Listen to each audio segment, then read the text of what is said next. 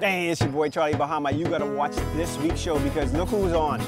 Hey, KB, KB. Caribbean culture. All the best things. Well, stick to your, your day job. That was my quote unquote signature song. A lot of people tell me that I'm responsible for their marriages and, and no, babies.